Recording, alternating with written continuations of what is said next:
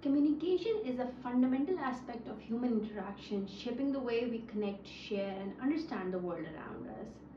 At its core, communication involves the transmission of information encompassing an array of elements such as thoughts, ideas, and emotions. It is a multifaceted process that extends beyond mere words, encompassing various forms of expressions and channels through which we convey our messages. Imagine a teacher entering a classroom with a warm smile and a confident posture.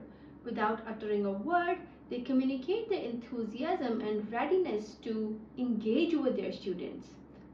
As they begin the lesson, their gestures, eye contact, and tone of voice all convey a sense of passion for the subject. So, even a subtle nod of approval acknowledges a student's thoughtful question, encouraging further participation. In this scenario, the teacher's non-verbal cues alongside their verbal interaction create a dynamic and effective form of communication that fosters a positive learning environment. As social creatures, communication is an inherent part of our daily lives. We engage in conversations using spoken languages, utilizing the power of words to convey our thoughts and ideas. But communication isn't limited to verbal exchanges alone. Our body language, facial expressions, and gestures all play a role in transmitting information. These nonverbal cues often speak louder than words, offering insights into our emotions, intentions, and our attitudes.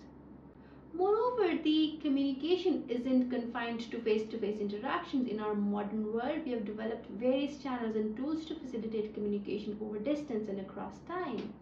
These channels, collectively known as media, have evolved over time and encompass a wide spectrum of mediums from traditional platforms like television and radio to digital innovations like the internet and the mobile phones. Defining media can be complex as scholars have differing perspectives. So, in a technical sense, media can be seen as the tools we have devised to amplify and extend our communication. But you can also consider the soapbox that a passionate speaker stands upon to deliver a speech. It's a medium through which their messages reach a larger audience. Yet, if we broaden our understanding of the media, we can also include the most fundamental communication tools we possess our hands, voice, and eyes. These two can be seen as channels of communication connecting us to others in meaningful ways. However, when we delve into discussions about mediated communication or mass communication, we are often referring to the first category, the technical mediums that we have transferred from where we share information on a grand scale. Television, the internet, radio, and mobile phones are all examples of these mediated channels. They've become integral to how we exchange news, entertainment, and ideas across vast distances and diverse cultures. So, in conclusion, communication is a rich tapestry woven from various threads, spoken words, nonverbal gestures, signs, symbols, and mediated channels. It is the lifeblood of human interaction, allowing us to express ourselves, connect with others, and bridge the gaps between our individual perspectives. So, understanding the nuances of communication can empower us to navigate the web complex of human relationships and contribute to a more connected and harmonious world.